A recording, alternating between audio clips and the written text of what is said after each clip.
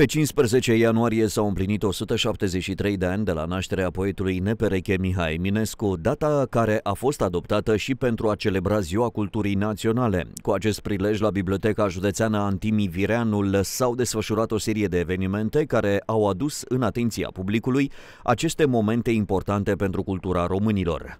La această manifestare dedicată Zilei Culturii, în același timp și nașterii poetului nostru național, Mihai Eminescu.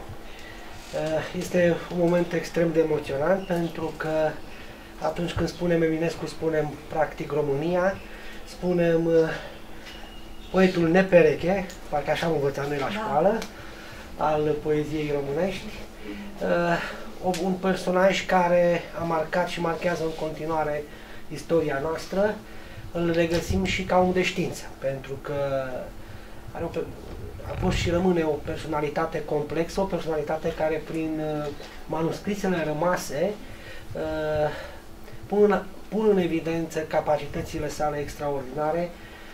Până la urmă, la steaua, până la urmă, nu este decât o previziune a ceea ce ulterior Einstein a descoperit celebra teorie a relativității. Unul dintre aceste evenimente, intitulat Eminescul meu iubit, a constat în prezentarea Eminescu în fotografii, o videoproiecție documentară în care a fost prezentată opera și familia lui Eminescu. Fotografii oficiale. În fapt, mai există câteva fotografii în care se bănuiește prezența Eminescu Portret Livresc. Următorul moment a fost o expoziție de documente din colecțiile secției Fond Documentar Patrimoniu a Bibliotecii Județene, din care elevii au aflat informații mai puțin știute despre poetul național. Eminescu era un om, cum ați spune voi astăzi, cool. Ce înseamnă acest cool, m-am întrebat eu așa și m-am gândit că numim cool o persoană care se află, mă rog, în fruntea generației sale, da?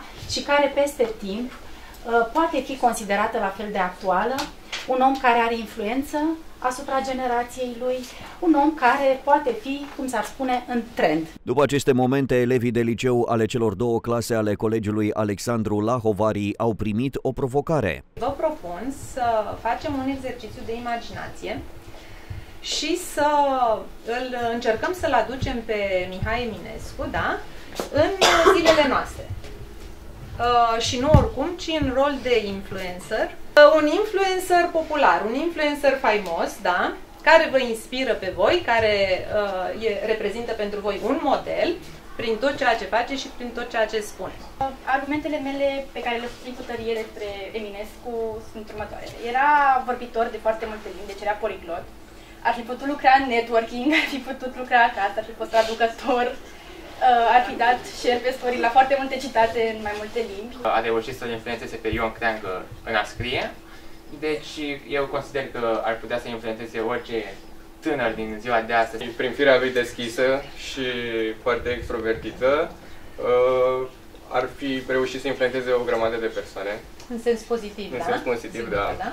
Prin, și prin cultura lui, cu care îi plăcea să se laude și să-și o expună în fața tuturor. Această provocare în care Eminescu ar fi trăit în zilele noastre a surescitat interesul elevilor prezenți la evenimentul cultural Eminescul meu iubit și a făcut ca manifestarea să fie interesantă și interactivă.